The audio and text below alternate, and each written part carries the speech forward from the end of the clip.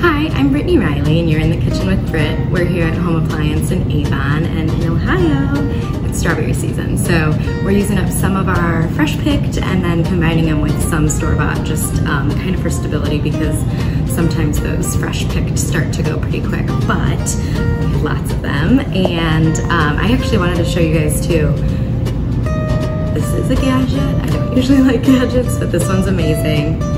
You just open it up and then you can twist to get the top off of your strawberries. You don't lose all of that from cutting off the tops. Um, I used to remember like when I would be making jam with my mom and my sisters when we were younger. And my mom had this little tool where you kind of like stabbed it in and pulled out the top um, just to avoid losing, especially on like the fresh picked. I mean, they're smaller a lot of the time and to get in and cut off the top, you're losing almost half the berry sometimes. So we'd be going in and doing that. And you don't notice, but those little hairs that are kind of on there, after there's like a thousand of them that go into your thumb, oh my gosh, I remember my thumbnails hurting so bad for like two or three days after that. So this is a nice replacement for that tool.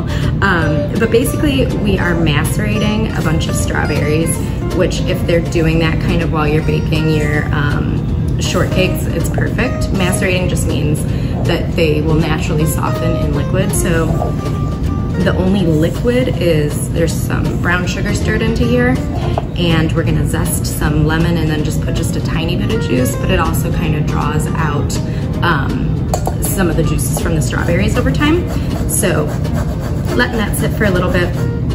I use a little less uh, sugar than most people would in this just because, especially with the um, fresh local ones when you're in season, they're so sweet. I don't want to add much sugar to that. My kids would disagree maybe, but. So a little lemon zest and then just a little juice. I would say maybe like a teaspoon of juice per cup and a half of berries because you don't want to overwhelm it and make it too tart or anything. And then while that's kind of sitting, we'll make our shortcakes. And you know, they can be made all sorts of different ways. A lot of um, traditional ways of making a shortcake involve um, making a dough that we roll out and fold and cut in with like a biscuit cutter that has beautiful layers so we can just basically pull it apart to separate it. I'm kind of going with um, more of like a drop shortcake. It goes a little bit quicker, a few less steps, no rolling, no mess. Um, so I kind of like that. Um, but basically we are going to be using cold butter. You wanna cut it into cubes and then we work it in kind of like almost like a sweeter biscuit dough. And then once it comes out of the oven, what we'll be doing is just cutting them in half to make our little layers. So I'm gonna cut up this butter and we'll come back and make our shortcake dough. So as with biscuits, we get kind of our butter chunks in and then we want to work them into small pea-sized pieces. I use my hands. Um, you can use a pastry blender if you have one and if you like that method, but quicker and easier to crush it all up. Um, a couple things generally, even with a shortcake, um, it's recommended flavor-wise to use like a buttermilk. Um, it gives it that tang and it helps with our reaction actually. So we're using a lot of baking powder in this and so baking powder with an acid gives us a good rise. So I don't always have fresh buttermilk on hand and it doesn't necessarily need to go on your shopping list either if you're making something with buttermilk. Um, unless you have another use to finish it off. I don't like to have stuff go to waste. So one way that you can kind of um, substitute is basically a teaspoon of white vinegar per cup of milk. So you can see, I don't know if you can, it's kind of thickened a little bit, a little gelatinous almost because when you add an acid to a dairy product like that, um, it reacts and it kind of gels up. That's how we make cheeses and things like that. Um, so basically we've made sour milk. We'll get that same exact reaction, same exact flavor pretty much um, by being able to do that. So once you have all your broken down, we are gonna pour that buttermilk in. And the key to a really good short dough, um, biscuit, shortcakes, whatever it is that you're making, is handling it like as little as possible once you add that liquid. Um, we are not trying to develop gluten, but we also don't want to warm up this butter. So on that note, we are using a hot oven, it's 425. So basically these little chunks of butter, before they even have a chance to completely melt, they'll be hit with that heat and be able to create a steam pocket, which is how we get those flaky layers.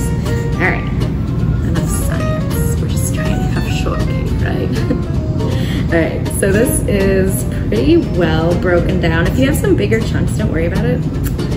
Gonna be a really good bite. And then we are going to pour this in. Like I said, just kind of work it all together. If you're worried about it, you can switch to a spatula at this point, but I'm pretty, pretty messy as it is. So I'm just gonna literally toss it together. And once that's done, we'll drop whatever size you want. You know, you can make really nice small individual size. You can make some bigger ones. Your bake time will just increase if they're larger. And I'm gonna mix this up. We'll get them on the tray and then I like to put some um, coarse ground sugar over the top just to add a little bit because this really doesn't have a lot in it. We didn't add a lot to our berries, but that little extra note of sugar on the top is nice. All right, while our shortcake is baking, we'll make some whipped cream. So I've just got some heavy whipping cream in here. Um, basically my rule of thumb is one cup of heavy whipping cream to two teaspoons of vanilla extract to one and a half tablespoons of sugar. Um, then you can, you know, multiply from there if you want to double, triple, whatever, right? Um, tripled, I think, for this. um, so keep your cream really cold. Pull it straight from the fridge to the bowl. That will um, give it the most stability and get the nicest peaks on it. And basically, I mean, if you're able, you know, if you have a whisk attachment and a mixer, that's your best bet. If not, you can do a hand mixer or can always use a whisk. It just takes a little bit longer, but it's really not that bad. Um, so this, I mean, for the amount that I'm doing, especially, it's gonna be three to five minutes, just depending on how fast I crank it up.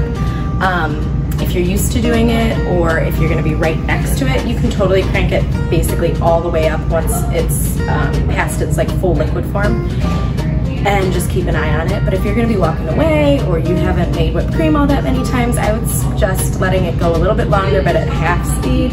That way you don't over whip. Because basically if we kind of go past the perfect point, it starts to thicken until all of a sudden it does separate and you're basically making butter at that point or like vanilla sweetened butter and it's really not what we want. But um, I'm gonna let this go for about three to five minutes.